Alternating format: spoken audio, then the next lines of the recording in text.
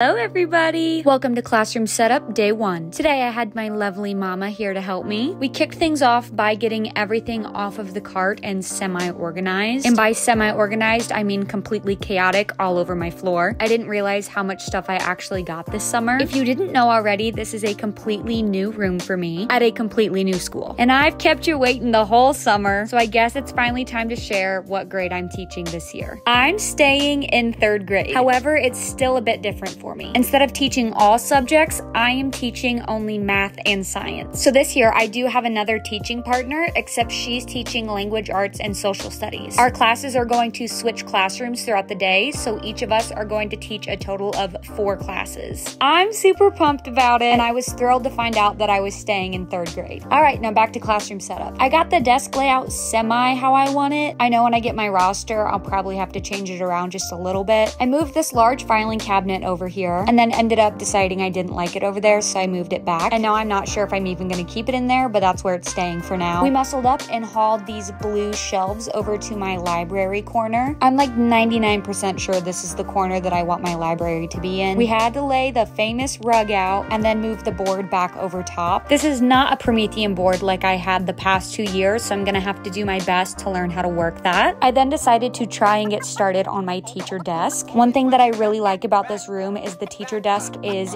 huge. More space to lay all my papers out. I got all my flashcards organized, opened a few of my Amazon packages, shout out Mia for these cute pencil holders, and then I decided to become Bob the Builder. I've been looking for some turn-in trays, but while building this, I've realized that there's four containers for four of the classes that I'm going to teach, so I'm thinking about just making each one of these containers a turn-in tray. I'm loving the magnetic latches that this has. You guys know it wouldn't be my classroom without my favorite teacher cart, so I threw her her together really quick and then hung up this smiley face. I'm not quite sure if I'm gonna keep that there. These are new this year, but I got some read signs to go above my library, set out some plants all around my classroom, then added some magnetic attachments to my board. Students' names are gonna go on these little rainbows, and then that's how they're going to make their lunch choices for the day. Last year, I just had them write their name on the board, but this seems to be more effective. This is what the classroom was looking like at the end of day one. I feel like I didn't even make a dent in it, but we've got the whole rest of the week to work on it. I'll see you guys tomorrow.